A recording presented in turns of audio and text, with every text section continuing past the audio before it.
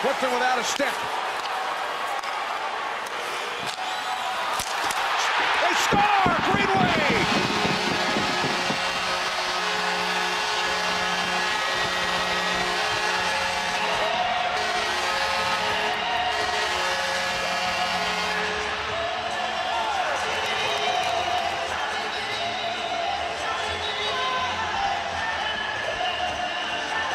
Well, what an effort by this line of the Minnesota Wild. But Kenny, you picked up on it.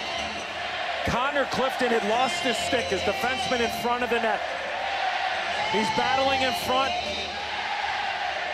Not an opportunity to really find that puck because he was worrying about Eriksson Ek and Greenway just buries it to the back of the net. But the play all started because Foligno worked it from low to high, D to D, shot, rebound, and Greenway buries it. Yeah, a good heads-up play by Spurgeon, just getting that puck through to the net. It was tipped by Eriksson Ek, and Swayman made the original stop, but there's Greenway to lay out and tap that into the open side, actually underneath the stick of Swayman, who was getting back in desperation. Almost